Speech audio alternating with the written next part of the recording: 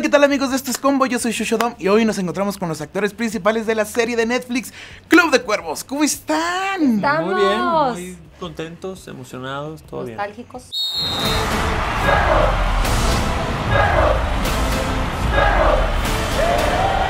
Oigan, ya la cuarta temporada. ¿Cómo Así se es. sienten? ¿Qué tal su experiencia? Platíquenos un poquito de qué trata. De la cuarta, fíjate que es, pues ya los hermanos que se unen contra el mundo. Pues van contra todo, ¿no? Ahora sí, todo lo que se ha apuntado en las otras temporadas aquí ya es el Explota. enfrentamiento final, ¿no? Que es eso, eh, irse de frente contra la corrupción en la liga, contra las televisoras, contra ellos mismos de alguna manera, ¿no? Como reinventarse después de darse cuenta que su padre no era esta figura eh, inmaculada que pensaban, ¿no? Y, y eso los hace replantearse un montón de cosas, como por ejemplo, ¿por qué están luchando tan desesperadamente por ese equipo? ¿Realmente lo quieren? ¿Realmente es lo que quieren hacer con sus vidas?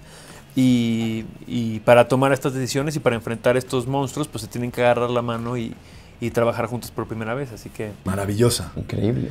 Sí, estamos Qué bien orgullosos. todo, qué bien todo. estamos orgullosos del proyecto que acabamos de terminar y el que va a salir. Eh, Cerrando ciclos, eh, terminando nuestros personajes. Pero muy lindo todo. Es un ciclo muy bonito. Todo el mundo piensa que somos los hijos corruptos de un asesino. Esto no nos va a dejar de perseguir hasta que limpiemos nuestro nombre. Eh, increíble. Increíble. Yo Digo, creo que no me había reído tanto en toda mi vida. Sí, en todas la hemos pasado genial. Siempre, en todos los proyectos, todos los actores dicen como de, sí, somos una familia, nos amamos tanto y... La verdad no. No. Pero aquí en esta sí. sí. Ok. En estas hicimos este eh, de, de este proyecto y de una producción tan grande e importante un recreo, un convivio increíble día a día. Entonces, este, Sí. se hizo una, una convivencia muy buena. Una buena familia.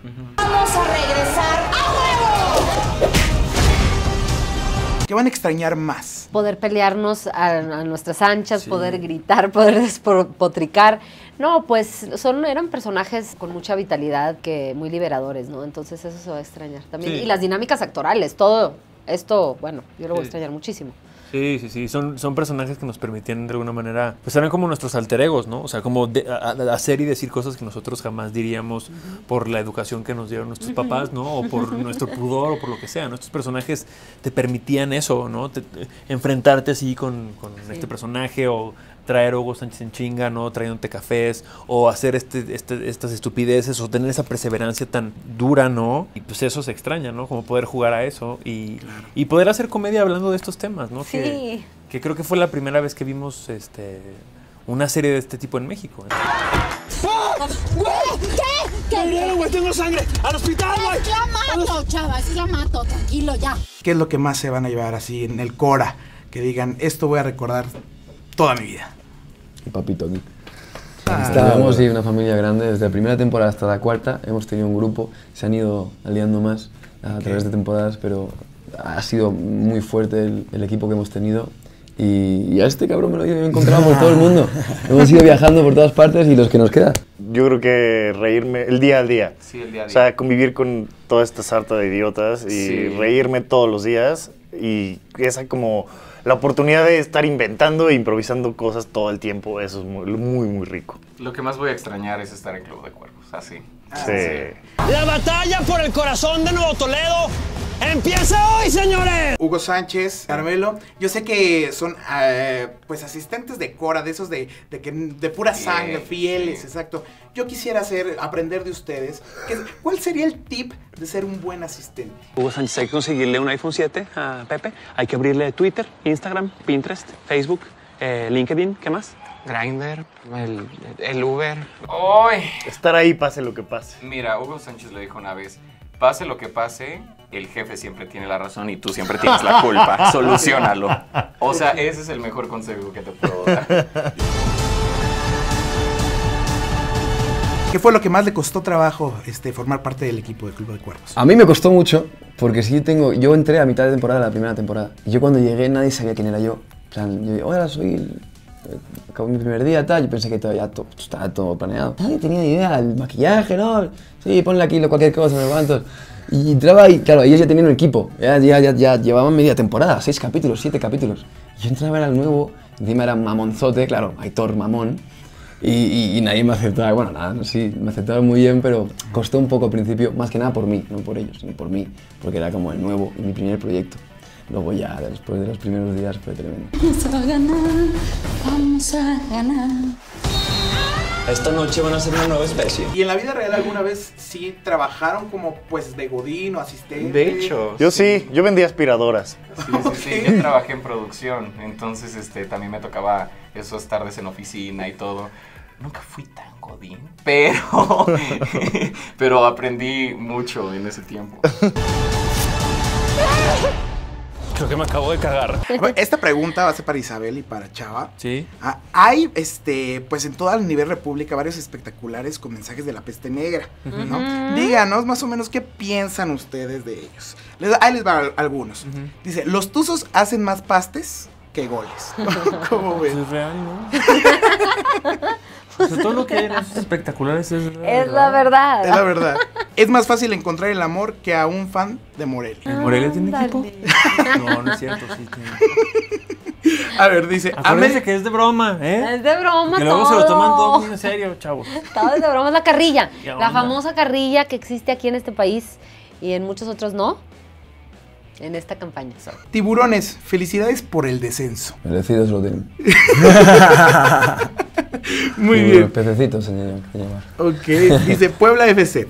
¿Ustedes juegan o comen camote? Es que no sabemos, la verdad que creo que comen mucho camote. Algunos comen de más camote. ¿Y qué encontraremos eh, en esta tem- nueva temporada por parte de ustedes? Pues un crecimiento en cada uno de los personajes, cada vez van creciendo más. En- como decía en un, en un principio, como decía en otra entrevista, perdón, pero en un principio nos era la presentación de nuestros personajes, luego fue, empezaron nuestras historias y ahora ya cada, cada personaje tiene su historia, cada personaje es conocido por la gente, entonces son personajes mucho más humanos, que, a los que les suceden cosas reales y para nosotros como actores eh, interpretar estos personajes después de cuatro años de haberlos hecho, con la confianza que tenemos en todo el equipo y entre, el- en- entre los actores, es, da un resultado maravilloso, actoral realmente muy fuerte y muy padre, con un guion fuertísimo, un guion que te va, los va a hacer estallar de risa a todos. Entonces, nada, es una cuarta temporada para mí la mejor de todas. Todo este puto país se va a infectar de la peste negra. América, no eres odiado, eres odioso. Eso sí es verdad, ¿no? Eso sí es verdad. Eso sí sería verdad. Ustedes no se pueden separar de los cuervos, ni su papá, a menos que vendan el equipo. ¿Cuál fue la escena que más les gustó a ustedes, que, que hicieron juntos? Pues la última, La ¿no? última, la última. Sí, la última que hicimos fue muy bonita. Porque además fue chiquita, fue nada más entre nosotros dos, Lloramos mucho. lloramos, ¿verdad? Entonces como que, qué padre que fue la última escena porque era muy íntima, entonces se, se vivió muy, muy bien. No tienen de otra. No, fíjate que de hecho sí tenemos de otra. Señores, este es un nuevo comienzo. Yo creo que eh, o cuando grabamos en el asilo de ancianos, cuando, por- cuando ya sí. estamos viviendo juntos, Sí, sí, sí. o sí. cuando estuve en Tamaulipas vendiendo taúdes y empezó una balacera. Sí, sí, sí. Hey chicos, ¿qué onda? Pues ganando como siempre, ¿no? Eh, eh, no suelten la mula hasta el final, ¿eh, chicas? Nos vemos. ¿Qué es más viejo, el título del Atlas o Chabelo? A ver, ¿qué, quién, qué es más viejo? Que no, no es el título del Atlas, ¿verdad? ¿Sí? Sí, Chabelo claro. es inmortal. Chabelo es inmortal, por eso sí se hace la comparación. Sí. ¿A poco Monterrey todavía no encuentra la galla? Monterrey. ¿Qui- cu- ¿Quién es Monterrey? ¿Quién es Monterrey? No sabe, no. Ah, que está en primera también. Ah, sí, se ok. dice. Ah, pues ni idea. ¿Yo podría formar parte del club de Por cuervos? supuesto. Sí, se ve. Puedes traer el agua, güey, a la... Claro, claro, nos puedes eh, quitarle un poquito el sudor. El sudor, o puede ser el balón, igual y, y puedo ser, ¿no? No digo, se puede. El inicio de una de este país. Muchísimas gracias, que estén muy bien, cuídense Gracias, mucho. gracias. Hasta luego. Si ya saben cómo son, ¿para qué le van al Cruz Azul? Sin Yolanda, Mari Carmen. Chivas, les diríamos algo, pero solito se humillan. Mira, yo soy de Contéstenos ahí en Chivas TV. Yo no, yo no voy a decir nada. No quiero que me linchen en mis próximas vacaciones. Diablos, ¿son choriceros para hacer chorizo o por comérselo? ¿Cómo crees? Híjole.